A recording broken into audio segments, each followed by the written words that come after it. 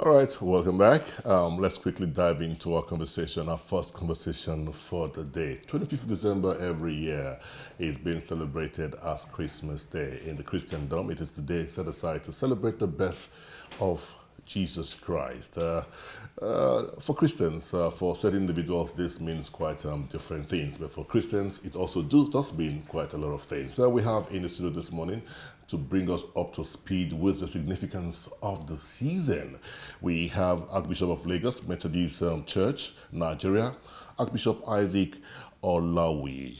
Archbishop, welcome to the program. Thank you very much. Merry Christmas. Merry Christmas. And we also have in the studio Reverend Yomi Kasali, who is the senior pastor of Fountain of Truth Assembly. Reverend Kasali, welcome to the show. Thank you very much. Merry Christmas. Merry, Merry Christmas. Christmas. Merry Christmas. And all our guests, once again, Merry Christmas. Merry Christmas. So, Archbishop, it's Christmas. It's Christmas. It's Christmas. Um, it's been celebrated for years now. Mm -hmm. Tell me, uh, for the essence of our viewers out there, as, as a Christian, what exactly does Christmas mean to you? Mm. Christmas is uh, an age-long event, very unique one, indeed. Christmas, I don't want to go to history of Christmas. Please do. Please, please do. Uh, but if we have to do that, we have to go even to the scriptures. Yeah. Because at a particular time and an era. You know, there are two eras of the of the of, of events in the Bible. Mm. The time of prophecy and the time of fulfillment of prophecy. Mm. God has foreseen, He has prophesied through His prophet that the Savior is coming. A Savior was to be born. When you go to Isaiah chapter 9, from verse 6 to, to us, a child is given, unto us a son is born, and the government will be upon his soldier.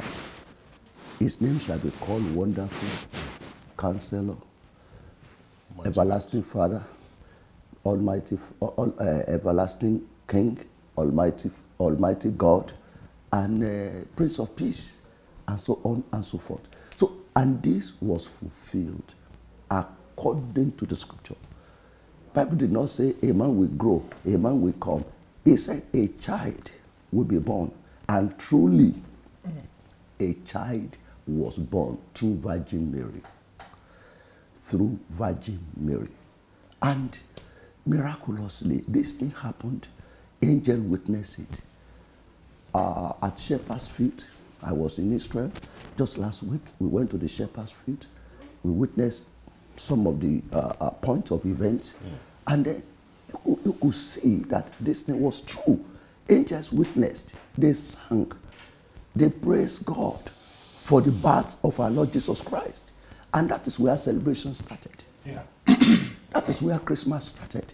When the angels rejoiced and sang and praised God for the birth of the Savior of the world. For you, our Savior is born this day. Mm. So here comes Christmas. Mm. And it has become an event over the years. And this is only unique event that usher in new era because every other thing was before Christ. After the birth of Christ, it became AD. AD yeah. yeah, after the death of Christ. So calendar has changed, era has changed. So we are in new dispensation, new testament. New, we, we, we become new people, new generation. So this is a new world. That is why Bible says, if anyone is in Christ, is a new creation. All things have uh, uh, uh, uh all, all things are passed away. Behold, they have become new. So this is what we are celebrating. Christmas is unique it cannot be compared with any other thing. Yeah. All right. Uh, Archbishop, you are from the Orthodox part of Christianity. Uh, uh Rebecca you're from the Pentecostal uh, angle or part of Christianity. but what one thing that brings Christianity together, despite the various denominations or different uh, churches, is the Holy Bible. Now, tell me, is there something extra that you think the Bible holds for Christians, especially for the season? That's that to me? Yes, to you. Thank you. Uh, 2.7 billion people on the face of the earth will celebrate Christmas today, regardless of the time zones. Orthodox, Pentecostals, Episcopal, Catholics, whatever. Because Christmas unites us all, regardless of our doctrinal differences here and there. We all agree that Christ was born as a child, a son was given on Easter. So there are two things that I like so much about what um, the Archbishop, my Lord Archbishop, has said in Isaiah 9, verse 6. Two things, two events the birth of a child, the gift of a son. So we do two celebrations globally Christmas and Easter. Unto us a child is born, unto us a son is given. He said, but today we're celebrating the, The birth, birth. of a child globally. Now, for, for, for many Christians all over the world, um, there's a general notion that, okay, it's time for holidays, time for soul searching, time for deep reflection. But Christmas should also, which is my own message, be personal beyond being general. Generally, all over the world is celebrated, but personally, which is what um, Lord Archbishop was trying to say, people should think deeply and reflect about their personal relationship with this child that was born over 2,000 years ago and what it means to us individually and personally. So for me, it's, it's fantastic. One of the most celebrated festive seasons on the face of the earth. You, you, know, I, I've, I've, I've often had this concern about certain Christians, Yes. certain Christian, I wouldn't want to use the word factions, um, certain Christian that, um, that does not believe in um, 25th of Yeah, December December. being, being um, celebrated as um, the day for Christmas. All right. Um, my, my question to you, um, Reverend Kasali, is this. Is it about the day or is it about the individual that's been celebrated? It doesn't matter. See, people have sent me all kind of information. It's a pagan day of celebrating when Constantinople, Constantine General Emperor said this, did that. Nobody could tell when Christ was born. Could be 15th of April, could be 14th of March, could be 25th of December. I tell them, look, forget the date. Forget the controversy surrounding a particular day. Nobody's disputing he was born. Nobody's disputing the Virgin Mary gave birth to him. Nobody's disputing the angels came to sing. Shepherds celebrated him. Why, why, what the fuss about the date? So if you don't agree with the date, choose your day. My own point is I'm celebrating Christ's birth on 25th of December. And it's a great man and wise men will understand that beyond the day, let's celebrate the person at the birth. So I don't want to get involved or drawn into um, the the controversy controversy of of the date. Let's just forget all the dates and Thank you. let's look at the essence of the celebration. Christ was born. You can't tell me he wasn't born at all. we have enough facts and proofs that he was born. Oh. Yeah. So whether I want to begin to put it, push a lot on the dates, I'm not involved in the date. Archbishop, I see you agreeing to certain things Oh yes, said. oh Do you? yes, Okay. oh yes. There's no controversy about the dates. I don't want to- No, I perfectly agree with my brother. Because what is the, the, the important thing about Christmas is the essence of Christmas, birth. the reason for the season, and Jesus Christ the. And it should be celebrated every day anyway. Absolutely. Not only during Christmas, we should worship Him, we should adore Him, we should celebrate Yeah. Him in our rooms, Yeah. in our private Yeah. devotion, Yeah. In the church openly Yeah. in, crus- in open open uh, uh, crusade uh, revival or whatever let jesus christ be adored. Let him be celebrated. Let him be worshipped because he is the king of kings and the lord of lords. But there's no dispute that jesus christ was born. He was born All right. Now, do you think Christians still recognize the essence of Christmas? We have said, we've agreed that the essence of Christmas is Jesus Christ. That's the reason for the Yeah, season. yeah. Do you think we have deviated or diverted the real meaning to some other things, Archbishop? Of course, of course, we all know that. We all know that. You know, uh, to, to some people, Christmas time is time of just merry, to wine and dine, eat chicken, eat rice, go to party. Uh, then, even during this Christmas, uh, you just discover that uh, transport um, uh, fares yeah. are hiked, and then you see that uh, even in Nigeria is is so is so is so different. When you go to other parts of the world during Christmas like this, sales are slashed. People get percent. I mean, fifty percent discount. Thank you. Fifty percent discount, twenty-five percent discount. But here, in the part of the world, rather than bringing it down, then the, uh, arbitrarily, without any reason for no cause, people just hike whatever. They just shoot up the price of commodities. Uh, yesterday, I was a, a little bit uh, shocked when I was looking for petrol to buy, and I discovered that ah, Simeo, I, I, the, the, the, we have um, queue here and there. I say, oh God, have mercy. I hope we are not going to be greeted with this kind of experience again. I mean, during Christmas, where people should be rejoicing and things will come down and weep. But thank God, I got petrol to buy. So thank God there's no petrol, No- uh, no scarcity. no scarcity of petroleum. so we thank God for that. People have deviated from the essence, from the real thing. And when you see the attitude of some people, you will know that they have not known Christ. They have not come to the saving knowledge of our Lord Jesus Christ. And that is why our society has become what it has become. It's a time, as we celebrate Jesus Christ's birth, it's time to make people happy. Not only by eating rice and eating jollof rice. Yes, it's part of it, and it's part of showing love. But the real love, which is agape love, should be, should be practiced by our people. We should understand that Jesus Christ came, He offered Himself without anybody forcing Him. He gave Himself to us. You know, leadership is about giving, giving yourself, your service to people.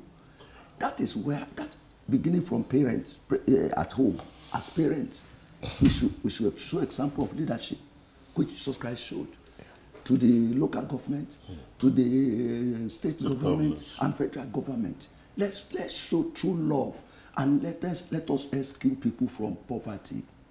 Let's rescue them from this oppression. Oppression is so much in our own land, in our own country. So please, we are just appealing to people to follow Jesus Christ because the essence of Christmas is expression of Christ, of, of God's love to humanity. Very well said, Archbishop. Very well said. Um, let me let me take you on this, um, Reverend Kasali. Yeah. Who is Christ? What does Christ, what does Christ represent? I mean, we're celebrating Christ. What exactly does? Let's bring it to nitty gritties. What exactly does Christ represent? I, I would answer that question by trying to take us back 2,000 years ago to the first Christmas, and I will try to extract three or four answers from that. Christ means different things to different people. To Herod, Christ was a threat. And he said, Kill him. Kill mm. every young boy that's born two years and below. To the shepherds, Christ was a savior. They went to herald him and say, Hey, someone's been born here. Mm. And they celebrated the birth of Christ. To the wise men, Christ was a king that should be worshipped. And so Christ means different things to different people. But what the Bible says to us that Christ should mean to us is our savior, our love giver, the, the love giver, the person that came to the world to die for our sins. But not too many people will receive him like that. They will see him from different angles. Just like saying, who is the President Buhari, for instance? To so many is a despot, to so many is a mere Messiah. So, so also with Christ. And for me, it must be personal. What the Bible tells us about Christ is the Son of God. Son of God, born of a Virgin Mary, which has been proven over time, died for mankind. God sent him to the earth to die to take away the sins of the world. And then was died and then rose up the third day to conquer death. And thereafter, those that will accept that work on the cross of Calvary will be saved. And then and they accept him as a Lord and Savior. So that question is deep and it will have different answers to different people. For me, Christ is my Savior. All right, Archbishop, there was something you mentioned earlier. I want to bring you back to that. You said um, the attitude of some people. You mentioned about you talked about the attitude of some people, and you said our society has become what it has become mm. based on the attitude of people. Mm. Now, if you look at Nigeria as a society, as a country, you realize that a good number of those who commit crime are Christians. And then on Christmas Day, we preach, you know, about peace, you know, and other virtues. On Easter, it's also preached. But the numbers of people who commit crimes increase by the day. Is it that um, people just listen to the message on Christmas Day or on Easter Day and then go back to their usual lifestyle? You know, uh, I've, I've said it times without number. Except you have the encounter with our Lord Jesus Christ and your life has been touched by Him and you have become a changed person. You are born again. You are born anew. You, you, you, you see, human beings by nature we are corrupt. Let me, that is simple all over the world. We are corrupt by nature. It is only through our encounter with grace of Christ that our lives are, are made the way God wants it to be, Yeah. to purify us, Yeah. to make us His own people. He said, you, I think First Peter chapter two verse nine. He said, Yeah. we, uh, he Chosen said we are chosen generation, We are priesthood holy nation. nation, royal Priesthood. priesthood. You see, all, all these kind of things shows that it is only by the grace of God in, in encountering Him that we can become what God what God wants us to be. You see crimes all over the world, not because everybody commits crimes, but let me just tell you, uh, uh, some people say, oh, the more the churches uh, prolif- proliferate, the more we have more churches, the more we celebrate uh, crimes. This, if you have in a family of 10, if you have one person that is bad among the family of 10, people will not see- the, the nine The good nine. the good nine, thank you very much. People will not see the good nine. They will only see the bad one. They say, ah, that family, ah, they are criminals. They are thieves, or this and that. But it is only one person that has marked the, the, the, the family. So it, let me tell you, we have genuine Christian people in, in this country. We have people that are really genuine. We have ministers of God that are genuine. We have Christians that are genuine. But the bad ones, are the one painting us in, In a, bad light. in, in bad lights, even to the outside world. Yeah. We have good things happening in Nigeria. So I want to say again that since human being is criminal by nature, corrupt by nature, sinful by nature, it's only Jesus Christ the Savior that can save us from all of this, from corruption, from uh, criminality, from evil that we all we all love to commit. Our Savior Jesus Christ has come to deliver us. You, you, know, you know, uh, Reverend Kasali, uh, why shouldn't we also think that, um, to a large extent, the church, the church as an entity, had not driven this message hard enough? Um, rather, we have seen some level of deviation. Uh, you hear this all the time that um, to these churches, the message is all about prosperity and not not about the kingdom, not about uh, the life after death. It's about uh, prosperity. Wouldn't that, wouldn't, shouldn't we think that um, this obviously could be a reason why? we're having a rise in criminality, and then where where where we have so much prosperity messages being preached in the church, and then the people want to, you know, uh, be in part, be be a part of this prosperity that has been preached. We've had allegations where people, you know, after having committed crime, they still go to churches to pay their tithes, and they get blessed by a few men of God. All of this also brings um, you know, brings to the fore this um, issue we look, we're talking about. Uh, you're very correct. I would not sit here today to pretend like that's not a problem right now. And it's probably the scourge of the Christian church. And I would be very bold to say it be, before my Lord Bishop that those of my own fold have been the ones that are more guilty, the Pentecostal fold, of this uh, abuse of, um, of the pulpit and that haven't touched the morality of man. You see, prosperity There's nothing wrong with that. But without morality is a problem. And sometimes when we push prosperity without morality, then we have criminality around us. Because you're saying anything goes. You're saying just bring the money in anyhow. Do Yahoo, kill, be corrupt, steal, take bribe. And, and so all that is not within the ethos, values, and virtues of the Christian faith. Truly, the Archbishop says something here. Man is corrupt ab initio. Man is by nature corrupt. So maybe, may just maybe, a few of us um, also want to fleece or make money off the body of Christ. Remember when Christ died on the cross of Calvary? Some people said, "Hey, we can make money off this guy. Let's sell um, his underpants." So same, same, same with today. Some people see it as an something we can make money off, Money and, and exactly. And unfortunately, that's not what um, the church should be about. It should be about changing the lives of men changing the souls of men. Now, some may argue with me that changing the lives of men should also get to intellectual, material wealth, and everything. We agree. But ultimately and primarily, our job as a church is to be salt of the earth, light of the world, not sugar. Hmm. I keep preaching that. We don't just be sugar, we should be salt to season our generation, our community, our nation, our society. And to be a salt means morality. Now, my concern is we do Christmas without the essence of morals. And it's important for us. Merriment, there's nothing wrong. Wine and dine, nothing wrong. Some see it as a time to take break. You know, some members of my church have all traveled out of the country. And I kept wondering, why would they travel? During Christmas, I just want to take a break. It's not just a holiday, it's a holy season, hallowed season. So I think we've, we've misplaced our priorities. We've pushed the wrong things out of the door and we brought the wrong things, I mean, the right things out of the door, but the wrong things in. I think the church will get it right. A few leaders are emerging, a few pastors are emerging within, like you said, the Pentecostal fold, the Orthodox fold, trying to align forces to do the right thing. And God will help us all as we embark on that journey. So, Amen. Reverend Kasali, are you saying that um, this season shouldn't be an elaborate celebration, it should be more of solemn celebration? Absolutely. My, that's absolutely my message.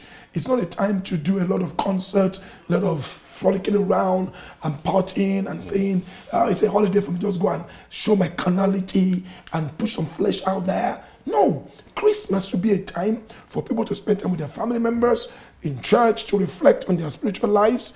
And that's why I like it. It only comes towards the end of the year to also think deeply. Wait a minute. Another year is coming to an end. What have I done for God, for mankind, for humanity, for my family, for my loved ones, my friends? To evaluate your life.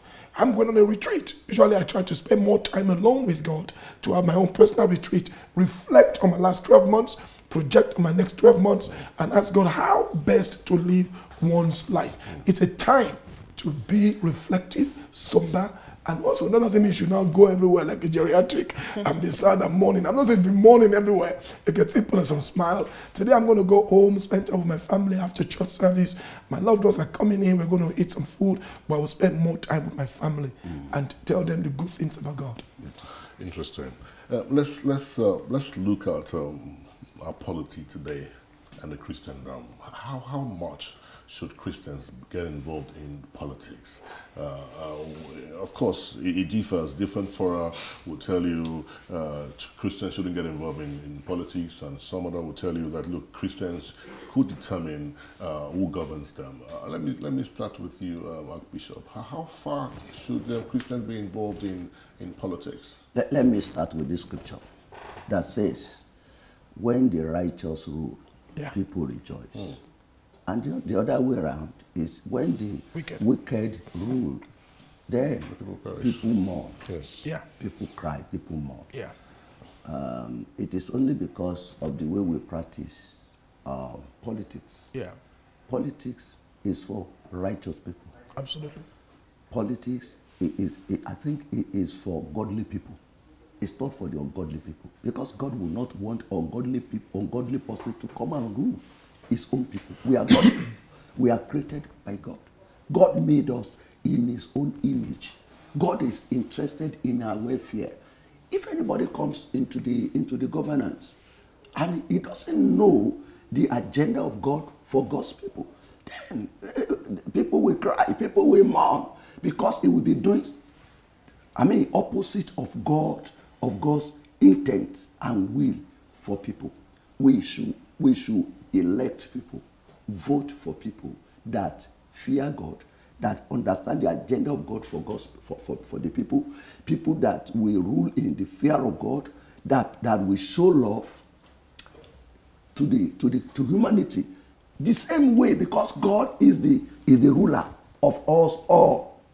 We all, you know, all other rulers should just emulate or they, they should even emanate from God and emulate God in ruling. God, but in the, in the book of Matthew chapter 5, Bible says, For God show his love to us, he, he, he make his, his, his rain to fall on the righteous and on the righteous. He make the sun to rise shine, and yeah. shine on the righteous and the wicked the same way. Anybody who is a ruler is standing in the position that I'm not saying he's God, but is is standing Maybe in a- a position. semi-god He's a semi-god. yes, he, he- a he- he must he must try and imbibe the character of God Yeah. to care for people. Uh, Most of our leaders, they don't have the fear of God. They don't care for human being. We don't care what happens to community, to people, to the society. Whether people are hungry, whether people are, if you go to some of our schools, you will, you will weep. Public schools. When you go to some of our healthcare, uh, uh, uh, when you go to healthcare system, when you go to some of the hospitals, you will cry. They say no drug, no this, no that. I mean, eh, eh, okay, for, for, for, for, for, for instance, most of us, I don't know what is happening with you, but I provide water for myself. I provide light for myself. Most of the time, I'm on generator. And it's not easy for me even to get diesel to, not that the, the diesel is there, but so costly.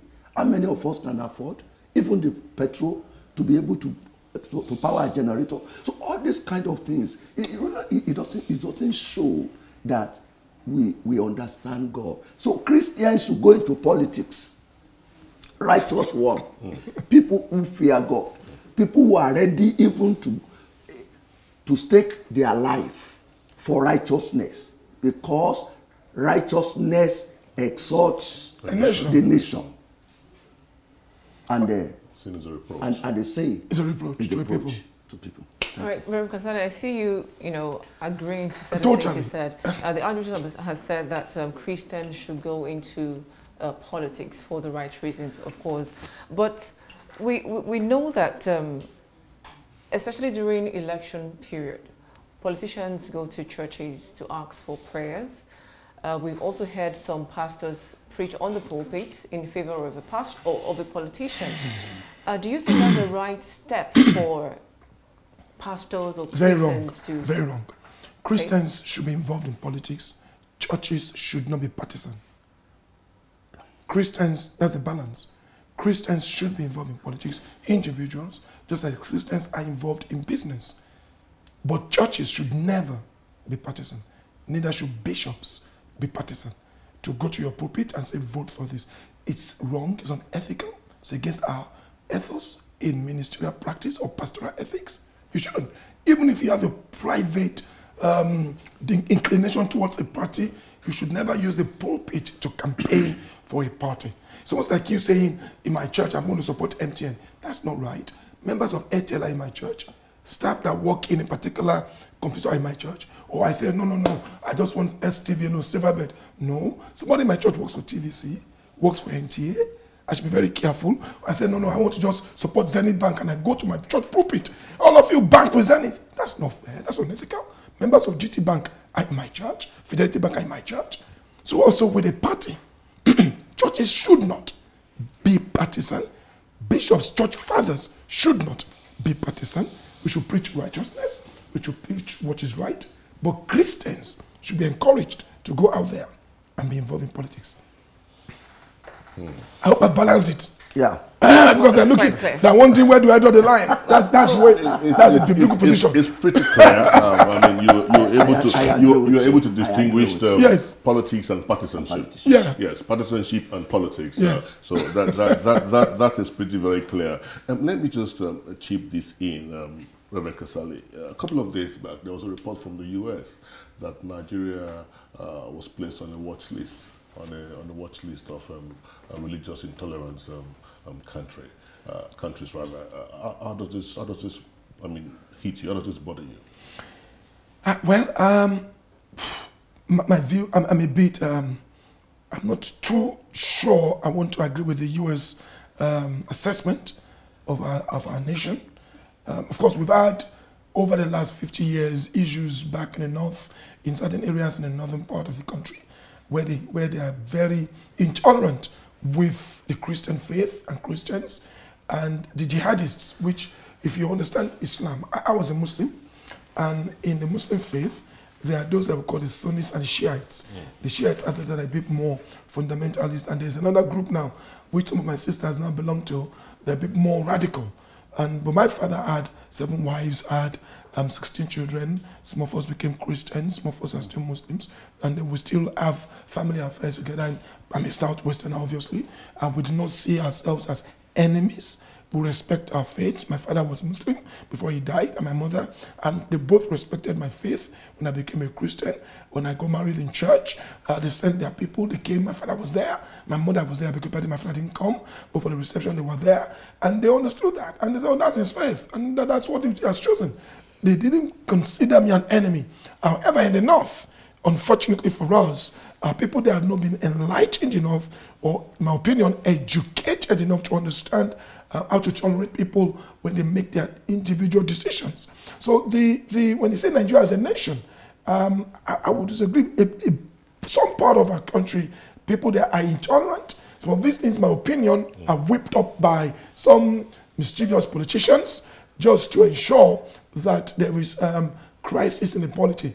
Uh, but for me, I, I, would be very careful how we get all this um, data from the US and how we begin to run Of course, I agree with the US um, opinion on freedom of speech and um, um, Sowore that's just been released. And I, I, think that was quite overboard. I totally agree that they should have been released quite a long time ago. Respect uh, rule of law and court judgments. Any saying government should respect the rule of law and, and court judgments.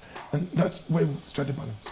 All right, Archbishop, Reverend Kasali talked about evaluating and reflecting uh, on the year, the past 12 months, and what you plan to do for the next 12 months. So perhaps um, this next question might help change certain agenda for next for the next 12 months. Now, in, in many churches, uh, we see a lot of people giving offering. Uh, some people call it tithes, some people call it first fruits, and um, different names they give it in, in the churches. And then there is a university built by the church. But hardly would you find an average church goer able to afford such universities, which is quite sad for a lot of parents who can afford to put their children in such universities. Do you think that going forward, that narrative should change? Uh, well, you know, one has to understand certain things before you uh, just make your comments. Because when you, when you see what it takes to establish a university, Methodist Church Nigeria, we, uh, we started about for more than 10 years ago, um, uh, close to 15 years ago. But let me tell you, we don't find it easy at all to run to run the university. We don't find it easy. My one of my I mean children uh, went to uh, Bowen University, owned by Baptist Church, and uh, something something like that. I, am just trying to be fair and be, I mean be honest about it. And uh, I, I, met some of the leaders of the Baptist Church. They also narrated their own uh, plight. Uh, Crowther, you know, all these are owned by Orthodox churches. Anglican owned by Ajayi Crowther. I, I, I, know how much, but we should be very, very careful.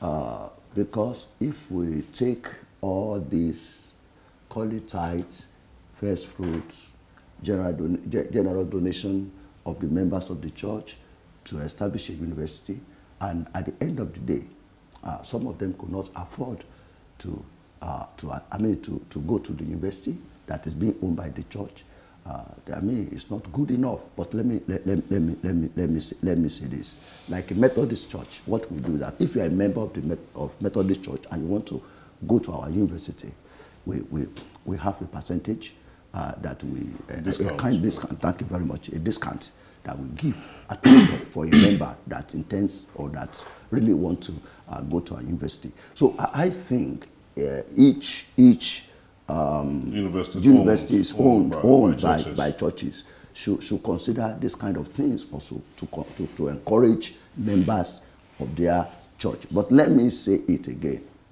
It is not easy to run university.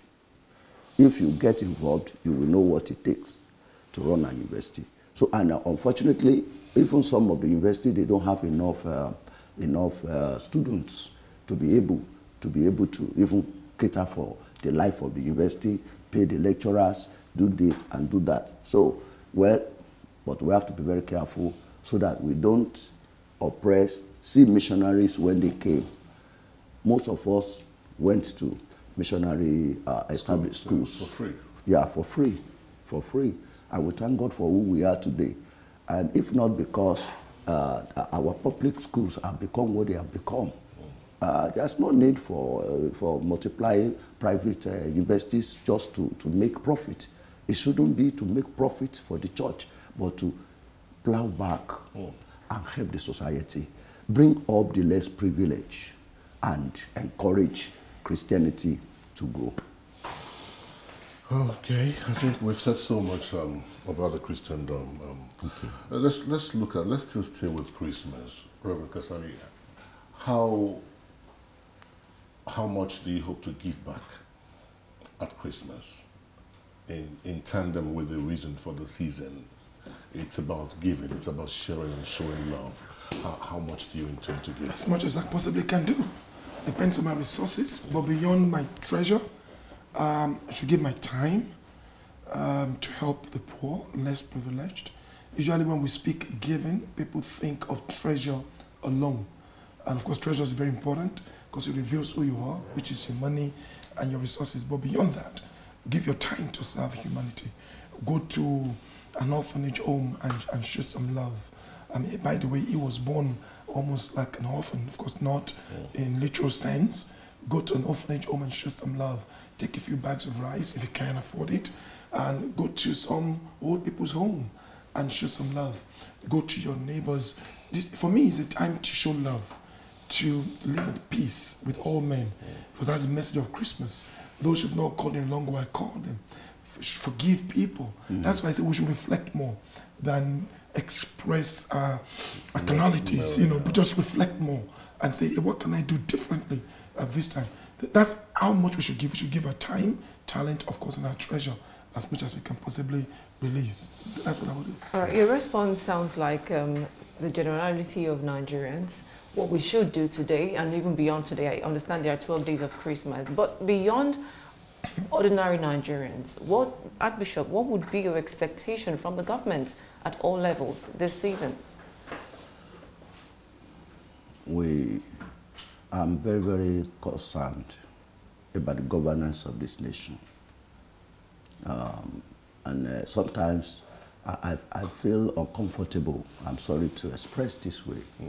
And uh, that's why I say, I, I was saying the other time that leadership should pattern after God. Yeah, Should pattern after God. very correct. You see people suffering. You don't fold your arms Yeah. as a gov- as a uh, I mean uh, as a government. Government should be should be em- em- empathic and should be sympathetic as well. Should should enter into the feelings of the people. Yeah. Should understand the plight of his of we are they are shepherds. Leaders of uh, uh, uh, governance they are shepherds. They should look after the nation well-being. Let the road be okay. Let there be water, the light. Let the, the I don't know why all these years we are still struggling with making. I mean, power supply. Throw some. I, I can't. I cannot understand for heaven's sake. And some people are saying maybe those who are in uh, Generator. uh, uh, generator uh, Business. business, they, they are in government. They don't want lights to come. Please let them listen to us. I mean, I traveled also almost to every part of the world. I, I, have never seen experience like this, even in African countries. This is, this is, this is not too good for us. I, I, as I'm talking, I don't want to get, get emotional. emotional. Yeah, it, it, we, should, we should please, uh, uh, um, I mean, reevaluate ourselves and uh, get, get it right. God will help our, our, our our leaders. Our leaders. God will help our leaders. And, and for you, Reverend Kasali, yeah. what, what would you be expecting from governance, from governance? I, I agree with my Lord Archbishop. I agree. Um, it's very depressing that we haven't been able to fix some basic things in this country. And, and I've always said that at the bane of our problem is that nature of corruption. Until, we're very deceitful. We're very deceitful people. We're not being sincere with ourselves. Um, we have to fight corruption together. We have to agree. I don't even know what the corruption loot has been used for. You know, maybe we need more accountability from leadership. But I know that as they plow the funds back into the system, it's being eaten again by corruption. corruption. So I, I, I am, I don't know, i am lost for words. I think the church, I've seen revolutions taking place over the world. You find clergy, religious leaders pushing it. Mahatma Gandhi in, in India, Martin Luther King Jr. in, in, in uh, US. US. Mandela was a moral leader. Listen, Archbishop, I've been saying this for the last seven years, and I throw this to Silverbird. I would be glad if you can name, if you can go on a spree in Nigeria, that 2020. Let's mention five moral leaders in this country. We lack them. Of 200 million people, we don't have moral leaders. I didn't say politicians. I didn't say businessmen. I didn't say pastors. I'm not saying bishops. I say moral mm. leaders. That's the problem in Nigeria. We don't have moral leaders. I've challenged people to give me five names. They've been difficult to get five names. Five. Mm. One, two, five moral leaders in Nigeria today. That's how nations are built. Go and check it. All over the world. If you go to my office, you find four pictures on the wall in my office. Nelson Mandela, Mahatma Gandhi, Mother Teresa, and Martin Luther King Jr. People have come in, sir, who are these? I said, they're moral leaders. You won't see a picture of a bishop there. These are my own mentors, my role models. I would love to be like this man to change my nation. Somebody stayed in prison for 27 years. That's a moral leader. He came out, they begged him to be president for. Saying, I don't want to be. They forced him. One time he stepped away. Moral leader has a very strong sense of right and, and wrong. wrong. Regardless of tribe, race, faith. If my brother is doing this wrong, I say, my brother, you are wrong. Uh, so what? Uh, is he the only one stealing? Uh, it's because you're Yoruba, because it's Igbo. Please, please, stealing is stealing. Whether Igbo, Yoruba, say stealing is stealing. You know, that's why we lack moral leaders. Until Nigeria, if you can give me five, I'll probably find something to give to you. Five today. When they, when they steal, they don't steal according to their. There's no naira in Yoruba or naira in Igbo. It's one naira, so stealing is still. Exactly, you get my right. point. In, in rounding off, in rounding off this segment, uh, you are the head of your church. You are the Archbishop of the Methodist in Lagos. Uh, maybe your congregation might be expecting to see you at the first service. There's a first, of course, there should be a first service today. What would be your message to them today? Let's begin with you and then Archbishop. What would be your message for those that will miss your I, presence? I'm, I'm going to try to preach in the service right now, so okay, my message great. is very clear. Okay. Is the message, the magic, and the miracle of Christmas. The miracle is the virgin birth. The message is to love all men. The magic, in quote, is the fact that five wise men, not three, wise men from through Magi, they saw the star of he that was born. So I'm going to push the message of Christmas, which is peace and love in our society. All right, Archbishop. Yes, uh, the message is straightforward. Jesus Christ has come to establish a kingdom. this kingdom is God's kingdom. It means that anybody that comes under the rules of God yeah. is already in his yeah. kingdom. Right. Yeah. And such people, they will, they will listen to God, they will hear God, they will do the will of God, they will go and, uh, uh, uh, uh I mean, preach the message, message of, of, of, of, of Christ to the whole world. When you are in the kingdom or on, in the kingdom of, of Christ, then you should be like Jesus Christ and let people see Jesus Christ in your life and let people see Jesus Christ in your life. That's the final word of the Archbishop of Lagos Methodist Church, Nigeria, Archbishop Isaac Olawiye. And Reverend Yemi Kasali, thank you for coming on the show this morning. There could never be a better time to discuss Christmas. Christmas, Jesus is the reason for the season. Season to show love, um, forgive, um, peace, unity, and good governance. Uh, we'll take a break and when we come back, our conversation will begin. Uh, next conversation will start rather. Uh, don't go away.